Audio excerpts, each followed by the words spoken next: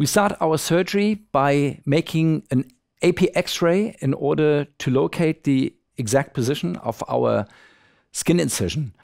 And this may vary depending on the underlying pathology. If you have a disc herniation, for example, which is located at the level of the disc base, I would recommend that you make your skin incision exactly in the midline, uh, rather in the middle area of uh, the interlaminar window.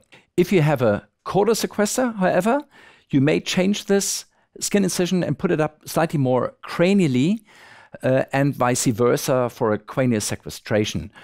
And this will help you right from the beginning uh, to get your working trajectory directly targeted uh, at your pathology. And that's what we what we want to do is we want to go straight to our pathology and do our target surgery.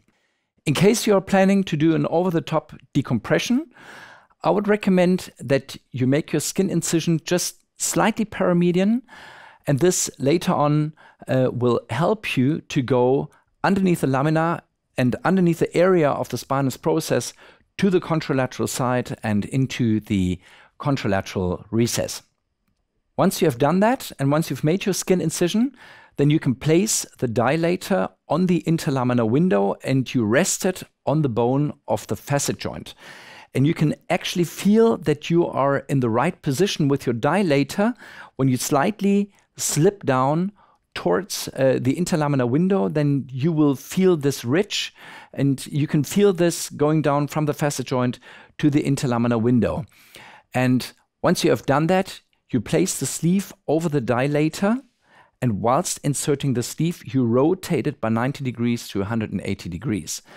And what you do with that uh, is that you don't catch any of the plastic foil that is covering the patient's skin surface. And you also make sure that your working sleeve is facing medially towards the interlaminar window. When you do that, by doing this, you can make sure that you don't have too much soft tissue coming in from cranially and caudally. Your sleeve will be resting exactly uh, over the interlaminar window uh, facing the yellow ligament. And then you have no soft tissues which may obstruct your vision. So once you've placed your dilator and once you have uh, placed your sleeve, you can confirm the right position and the orientation uh, by checking on one AP and also one final lateral uh, X-ray. From here on, you insert the endoscope into the working sleeve and then basically the rest of the entire surgery is done under full endoscopic visualization. The image which you are seeing, which you are seeing from right inside the spinal canal is always the same way that the patient is lying on the operating table. So let's say, for example, uh, in a left-sided surgery, uh, you will see the left side is towards the patient's head, that is cranially, and the right side is looking caudally. The upper part of your image, this will be facing contralaterally to the, uh, to the contralateral side.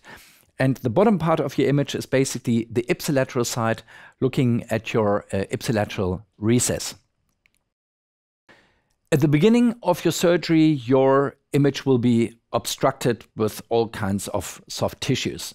So what you need to do is you first need to remove all of these soft tissues by grabbing them. There will be some bleedings and then you use the bipolar to stop these bleedings. But you need to do that so that you get a full anatomic orientation. Make sure that you keep these soft tissues out by correctly placing the sleeve as I described so that the sleeve is exactly uh, facing the, uh, the intermedially towards the interlaminar window. It's important, especially in the beginning, that you expose all of the relevant bony structures of the facet joint and also of the cranial lamina. And you also need to expose the interlaminar window and you need to see the yellow ligament so that you get a full anatomic orientation. At this stage, you should also have checked the correct level of your working trajectory uh, and the correct targeted level on X-ray one last time. If you are a beginner to the technique and you're doing your first cases, I would recommend that you keep the X-ray in place during the surgery so that whenever you need to, you can easily check and reconfirm that your position is okay. If you are a more experienced surgeon, once you have confirmed, you may actually remove the X-ray and you can do the surgery from here on without having this X-ray uh, inside, and then you can much more easily move around, and it will simply make the surgery much more comfortable for you.